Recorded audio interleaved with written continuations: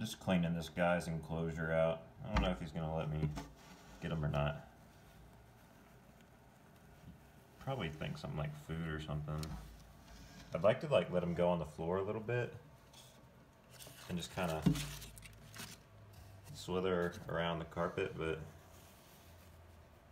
I don't know if he's gonna let me. Uh, I don't want to like pinch him too hard. Oh, oh, oh. Here we go, guys. Definitely got a lot thicker. I don't want him to get like in the crack over there of that door. I'm not, you know, putting any pressure on him. I'm just barely holding him enough to where he'll stay still.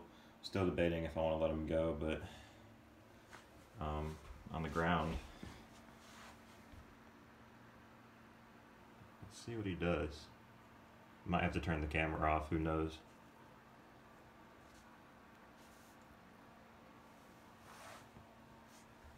Boy, is he fast. he is fast. He's going to be hard to get back up off the ground.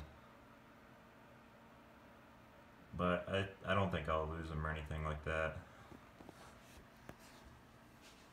I'm just going to put my hand in front just in case he decides to do something.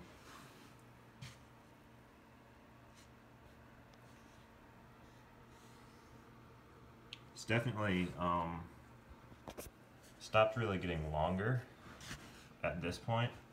He still will get longer, but he's definitely been getting a lot uh, just girthier. If that sounds right or not.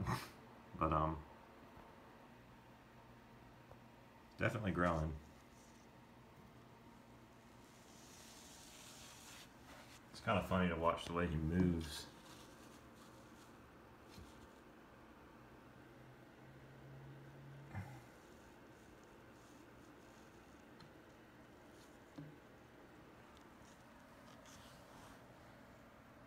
Yeah, he's he's like fast, but he's not so fast that he's just gonna go off somewhere. So I feel pretty comfortable with letting him do this, just to stretch out and explore.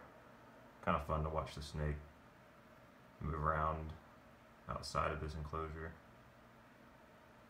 But if you can see, this is a 10 gallon. Um, gonna get him a bigger enclosure very soon, but uh, he's about almost half the length of it if he totally spread himself out.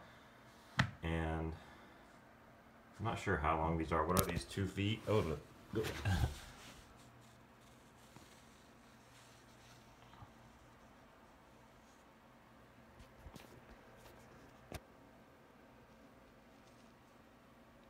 Almost lost him there. Anyways, we're gonna put him back in real quick.